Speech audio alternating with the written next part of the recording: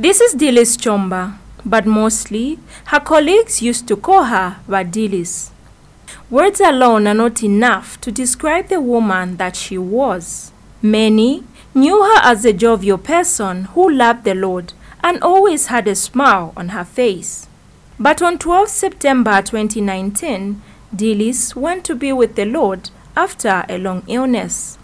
And mourners today gathered at Miracle Life Church in Lusaka to bid farewell. Her husband, Shapi Mwape, gave tribute through Chibesa Mwape. My wife, Dillys, was a loving mom and wife. We will always remember her with joy and gratitude for her life and the love she shared with us.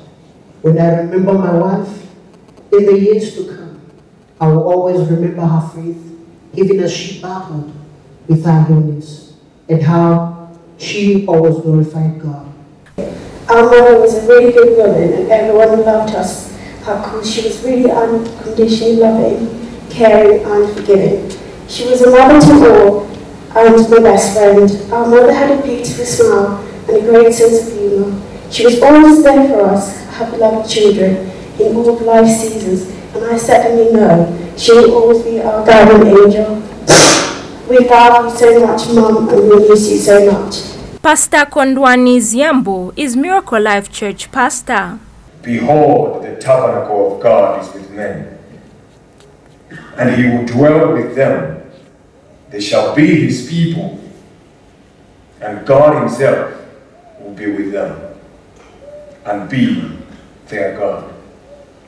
And God shall wipe away all tears from their eyes, and there shall be no more death, neither sorrow, nor crying. QFM marketing manager Amos Gondwe had this to say. we know that she was always professional in everything that she did at work, and we know we're going to miss her greatly. But one thing that consoles us as a company is that she knew our God, and this is an appeal to all of us. Everywhere we are, in everything that we are doing, let's make sure that we put God first. Thank you so much. Dillys Chomba has left behind a husband and four children. Indeed, her kind and happy personality will be greatly missed by many.